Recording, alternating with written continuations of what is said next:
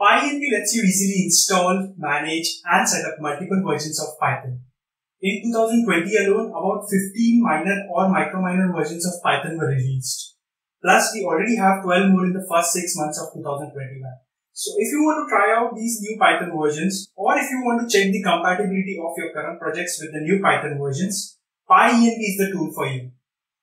Welcome to OsChannel friends, my name is Aditya and in today's tutorial, I am going to show you how to set up PyEnv and manage multiple versions of Python for your Python projects. The installation is quite simple. You can simply use brew install or apt install depending on the operating system that you're using.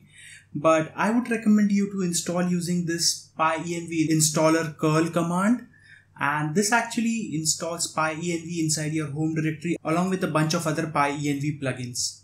So this is what the .pyenv folder looks like from inside and this is the pyenv binary.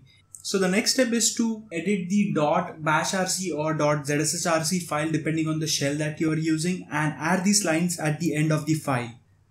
Here we are basically prepending the pyenv bin path as well as the pyenv shims path to our path variable and then we are initializing pyenv. Once that is done, save and close the file and restart your shell.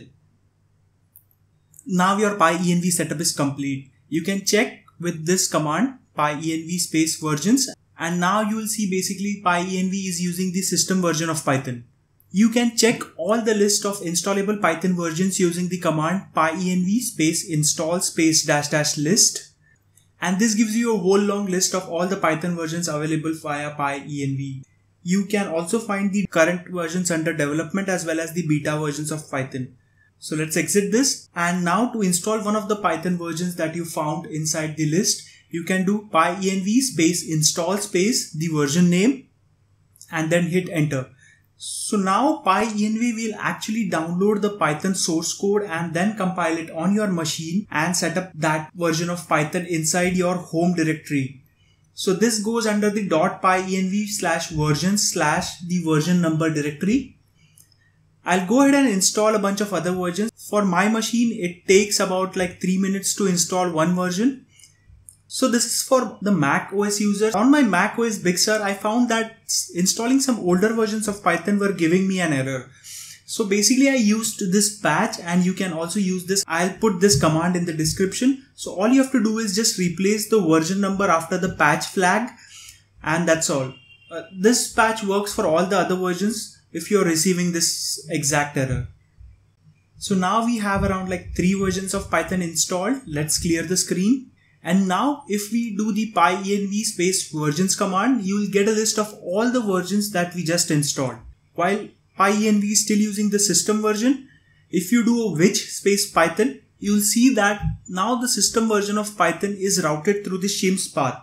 So in this specific case, this Python shim is actually redirecting all your Python commands to the system version of Python. If I check the Python version, it's 2.7.16 which is my system version of Python. And now the fun begins. So let's say now we immediately want to switch to version 3.9.2 from our current 2.7 version. All we have to do is just type pyenv space global space the version number which is 3.9.2 and that's it. And now we are actually using Python version 3.9.2. So what this command exactly does is basically it creates a version file inside the .pyenv folder and if you check using pyenv versions command, you'll see the star now right at 3.9.2. Now the problem with the pyenv global command is that it sets the Python version for all the projects of our current user. So what if you want to work on a project and you want to set a different Python version for this project? There is a command for that.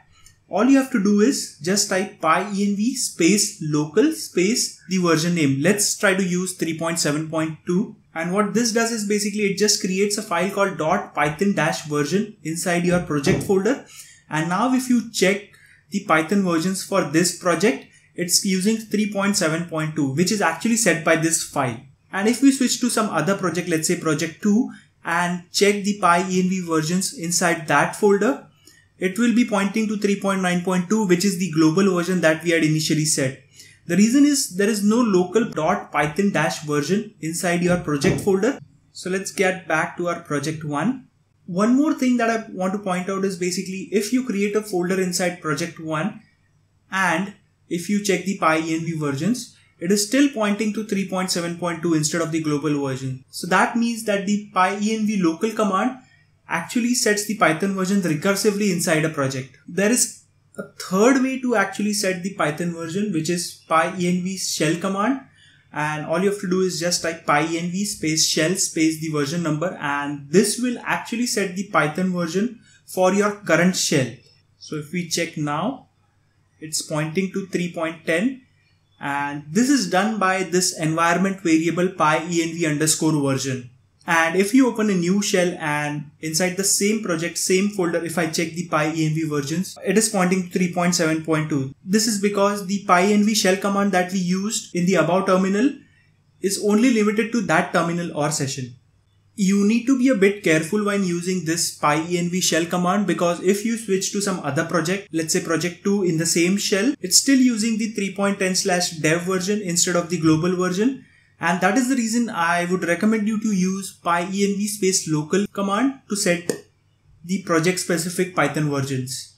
In order to unset any specific Python version, all you have to do is type pyenv space local or global or for this instance, let's say shell and give a flag called dash dash unset. And this actually unsets the pyenv shell command that we executed above. And now if we check the PyEnv versions, it is now pointing to the global version for project 2. So, so far we have learned three commands to set the Python version and there is a precedence between them. So the PyEnv shell takes the highest precedence and below that comes the PyEnv local command and below that comes the PyEnv global command. If none of them are set, PyEnv uses the system version of Python. So that's all for this video guys. We covered all these topics in this video and I have created a small cheat sheet about all the commands that I covered. I'll be putting a link to this cheat sheet in the description below. So if you liked my video, please smash the like button and subscribe to my channel if you want similar videos in the future. And as always, thank you for watching.